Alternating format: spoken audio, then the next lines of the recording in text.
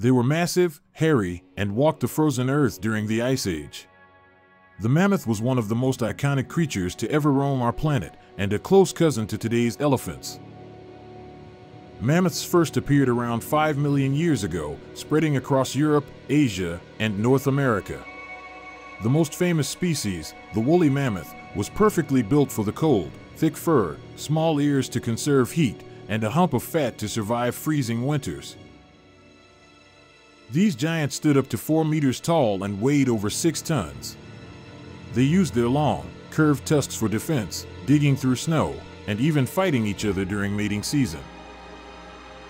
But despite their strength, mammoths couldn't survive forever.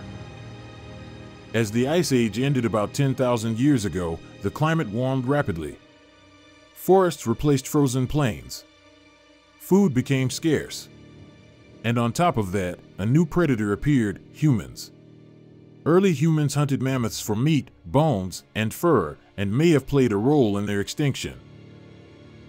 The last known group of mammoths survived on a small island in Siberia until just 4,000 years ago. That's right, they were still alive when the pyramids of Egypt were being built. Today, scientists are studying frozen mammoth remains, with some even trying to bring them back using cloning technology. Could we one day walk beside a living mammoth again?